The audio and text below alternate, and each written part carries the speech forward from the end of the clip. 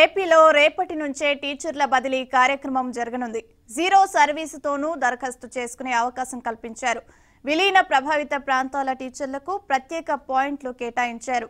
జనవరి పన్నెండుతో బదిలీ ప్రక్రియ ముగియనుంది.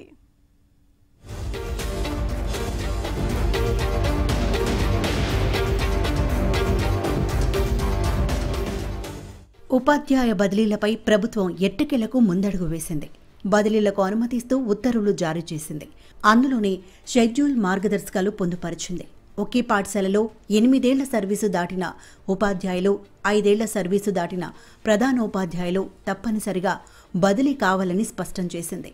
Zero service ప్రాతిపదికన ఎవరైనా బదిలీలకు దరఖాస్తు చేసుకునే వెసులుబాటు కల్పించింది. దీంతో బదిలీ కోరుకునే ప్రతి టీచరు దరఖాస్తు చేసుకోవచ్చు. పాఠశాలల విలీనంతో ప్రభావితమైన టీచర్లకు అదనపు పాయింట్లు కేటాయించింది. స్పెషల్ కేసుల జాబితాలో గతంలో లేని వ్యాధులు చేర్చింది. గుర్తింపు పొందిన ఉపాధ్యాయ సంఘాల జిల్లా అధ్యక్ష ప్రధాన కార్యదర్శులకు అదనపు పాయింట్లు ఇచ్చే విధానం ఎత్తివేసింది. మున్సిపల్ ఉపాధ్యాయుల బదిలీలకు తర్వాత మార్గదర్శకాలు జారీ చేస్తామని తెలిపింది.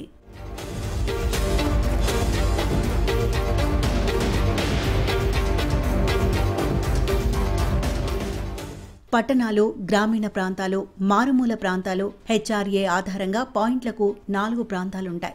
ఈ ఏడాది ఆగస్టు ముప్పై ఒకటిని సర్వీసు లెక్కింపునకు కట్ ఆఫ్ తేదీగా నిర్ణయించింది. అందులో కేటగిరీ నాలుగులో ఉన్న టీచర్లకు పూర్తి చేసుకున్న సర్వీసులో ఏడాదికి ఐదు పాయింట్లు ఇస్తారు.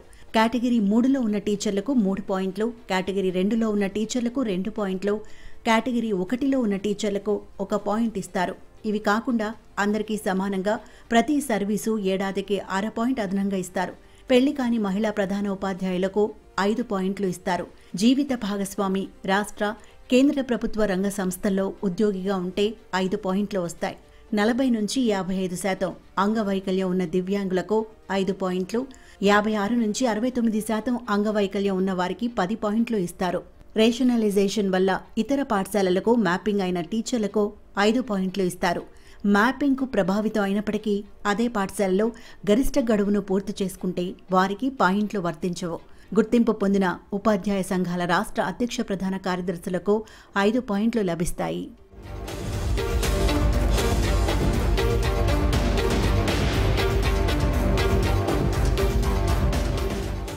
వైకల్యం డెబ్బై శాతం కంటే ఎక్కువ ఉన్న వారికి మానసిక వైకల్యంతో పిల్లలున్న వారికి ప్రాధాన్యత ఉంటుంది.